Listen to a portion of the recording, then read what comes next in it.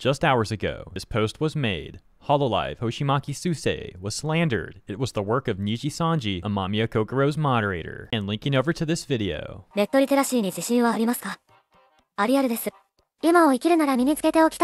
the video itself is about 4 minutes long, however it is entirely in Japanese. That translating essentially to what the Reddit post was also titled as well, leaving people to piece the puzzle together. One comment on Reddit saying, so, someone was talking smack about Suisei and it turns out to be a Nijisanji Liver's manager?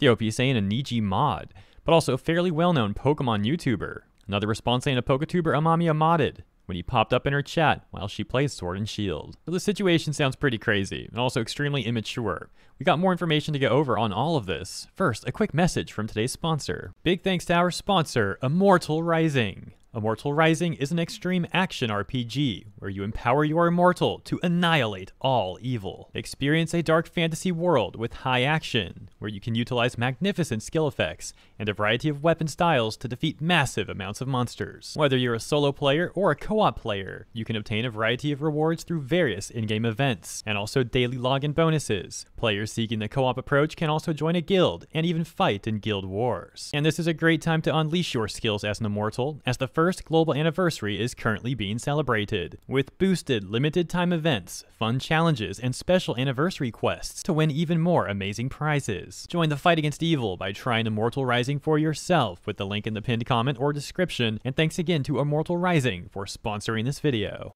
Returning to the Suisei situation, we've got p2y.jp writing. One of the persons who made allegedly slanderous remarks against VTuber Hoshimachi Suisei has come under criticism for possibly being a moderator for the talent Amamiya Kokoro of VTuber group Nijisanji. This time, the slanderous act against Suisei was confirmed by Ashiki, a Pokemon YouTuber. Ashiki was criticizing Suisei's collaboration project with the game, the Idolmaster Cinderella Girl Starlight Stage, and also pointing out that he had made a post, a tweet, that could be considered slanderous to Suisei. That apparently reading, I'm glad the collaboration between Idolmaster and Suisei was rough as expected, because I thought the content was pretty disgusting, even as a regular VTuber. I wish they'd give them the ability to turn off the collaboration completely in the game, and if they turn it off, they'd get jewels or something. So if that tweet's real, you're telling me this dude is so pressed that he wants people to get a reward, a player to get a reward in game if they actually remove Suisei from their game. like, get some jewels or something. What the heck has got this guy so angry? Well, the author does continue to say one of the reasons for the criticism of Ashiki's words and actions is that Ashiki is seen as a possible moderator for Nijisanji talent Amamiya Kokoro. Well, that still doesn't really explain why he'd get so mad over this, though. Is it just like insecurity or something? Like he's actually just upset because a Hololive VTuber is getting a nice collab? Well, the article does add this, saying, It has also been confirmed that Ashiki has long been engaged in language and behavior that are suspected of slandering Hololive production to which Suisei affiliates. In addition, Ashiki has been criticized in the past for problematic behavior towards VTubers,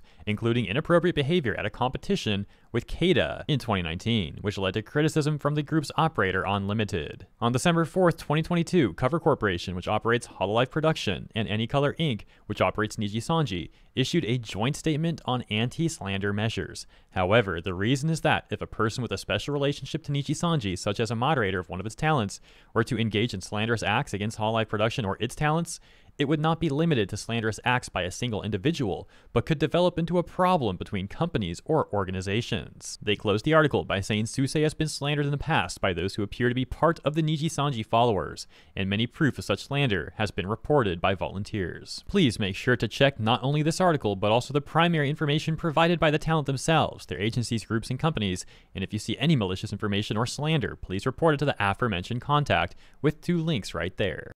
So yeah, it sounds like this dude is actually mad that Suisei got a clap with Idolmaster.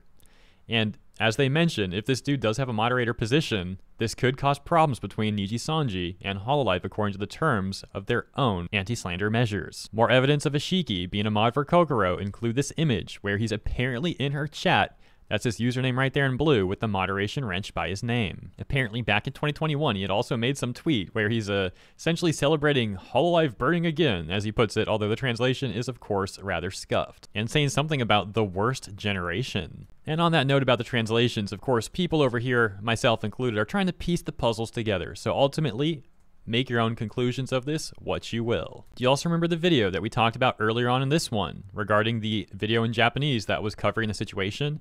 Well, some of the top comments left there include Ashiki, for all his anti-Hololive antics, has switched to defending himself by liking Hollow's fan art. So, maybe some damage control there? Not sure.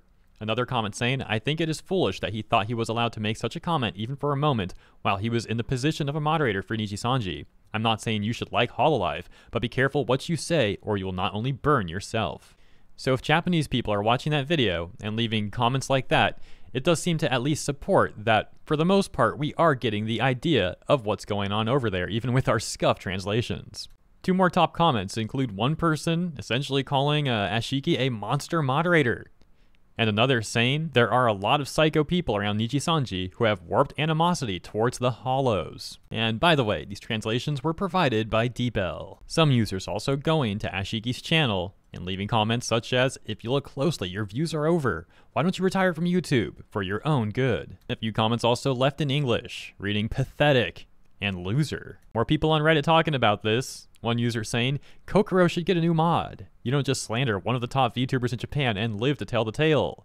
A response saying, Who says they will? Next thing you know, missing persons list. Then suddenly their hearts are missing and their bodies are cleaved by an axe. Okay, so that's referencing like the Suisei psychopath memes for anyone who's concerned about that for a second. This situation, for example, being depicted in wonderful art by Hydebor, who also further said the collab when she is known for her bloodthirst. After Suisei had killed Roboco with Ayame, Mio was their next victim, and I can remember this moment well. If the translation is correct, I think Suisei laughed and said something like, Keep screaming, nobody will hear you, Mio. And it sent a shiver down my spine. And also, she cooked Mio's heart in the game afterward, and it sealed her reputation as a bloodthirsty idol, at least for a while and then apparently making a reference to Warhammer. Back to the comments talking about this recent news. We've got, he's a mod, so you guys know what's about to happen at every post regarding this, yes? And implying that those posts will get removed. However, at least as we're recording this right now, it does seem to still be here. Response saying, the most they can do is stop the story from appearing on this particular subreddit. They can't stop this story from appearing elsewhere on places like the Kurosanji subreddit or YouTube. And the other person then saying, I mean, we're talking about the very guys that pulled the trigger aimed squarely at their own foot.